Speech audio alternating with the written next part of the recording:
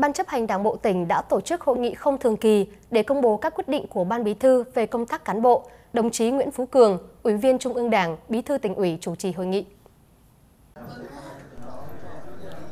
Thay mặt ban tổ chức tỉnh ủy, đồng chí Phạm Văn Tru, Ủy viên Ban Thường vụ tỉnh ủy đã công bố các quyết định của Ban Bí thư.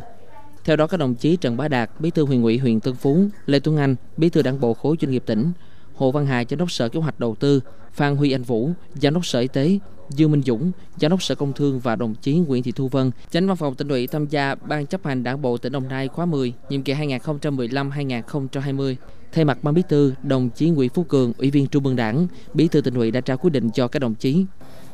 Ban chấp hành Đảng bộ tỉnh cũng đã tiến hành bầu chức danh Phó Bí thư tỉnh ủy, Chủ tịch Ủy ban dân tỉnh nhiệm kỳ 2015-2020 để thay thế đồng chí Đinh Quốc Thái, Phó Bí thư tỉnh ủy, Chủ tịch Ủy ban dân tỉnh nghỉ hưu theo chế độ từ ngày 1 tháng 9. Theo đó, đồng chí Cao Tiến Dũng, Ủy viên Thường vụ tỉnh ủy, Bí thư huyện ủy huyện Long Thành được bầu giữ chức Phó Bí thư tỉnh ủy Đồng Nai khóa 10, nhiệm kỳ 2015-2020. Ban chấp hành cũng đã tiến hành thủ tục bầu các đồng chí Huỳnh Thanh Bình, chủ nhiệm Ủy ban kiểm tra tỉnh ủy và đồng chí Thái Bảo, tỉnh ủy viên, trưởng ban tuyên giáo tỉnh ủy vào ban thường vụ tỉnh ủy Đồng Nai khóa 10, nhiệm kỳ 2015-2020 với số phiếu tín nhiệm cao.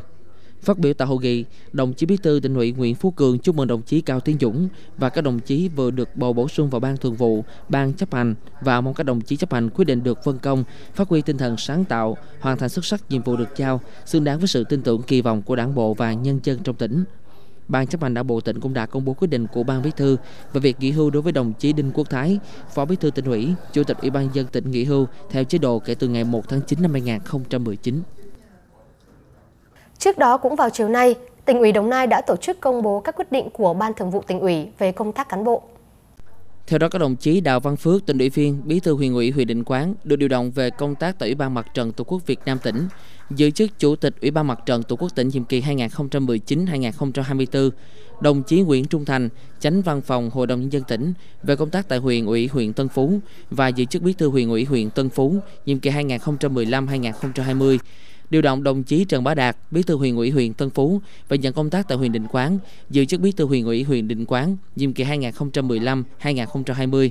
Tỉnh ủy cũng công bố quyết định của ban bí thư việc chuẩn y chức danh phó chủ nhiệm ủy ban kiểm tra tỉnh ủy đối với đồng chí Nguyễn Hữu Định, tỉnh ủy viên, bí thư đảng bộ khối các cơ quan tỉnh.